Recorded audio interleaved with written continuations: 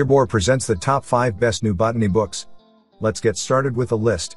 Starting off our list at number 1, Werner's Nomenclature of Colors. Reed and Company presents this new edition of Werner's Nomenclature of Colors.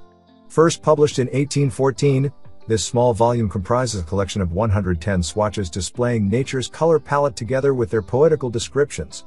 In the 18th century, German geologist Abraham Gottlob Werner set out to establish a standard reference guide to color for use in the general sciences. Scottish flower painter Patrick Syme later enhanced and extended Werner's work to include all of the most common colors or tints that appear in nature, with each color swatch accompanied by examples from the animal, vegetable, and mineral kingdoms.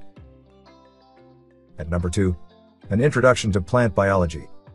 Botany An Introduction to Plant Biology 7th edition continues to set the standard for the fundamentals of plant science. No botany text better connects structure to function and does so with higher quality art and imagery. Combining strong scientific grounding with an approachable writing style, botany teaches and engages. The essentials to a foundational understanding of plant science are all there, including structure, genetics and evolution, physiology and development, and ecology. At number 3, 1914 Vintage Botany Botanical Illustration Sizes. These are beautiful vintage wildflower illustrations from 1914. Most are displayed on the cover. The backs of each image is blank paper for better use in crafting. There are 22 different vintage wildflower illustrations in this book, which are shown 88 times in the book in different sizes. There are 4 to page and 9 to page sizes, plus 4 full page illustrations. The pages are doubled, to receive more than one copy of each illustration in the various sizes. So there is more than one copy of each floral illustration. And number 4. Darwin's Most Wonderful Plants.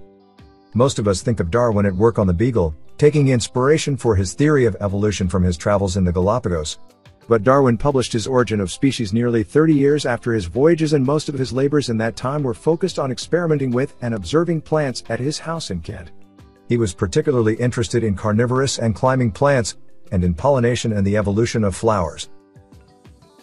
And number 5. Botany at the Bar.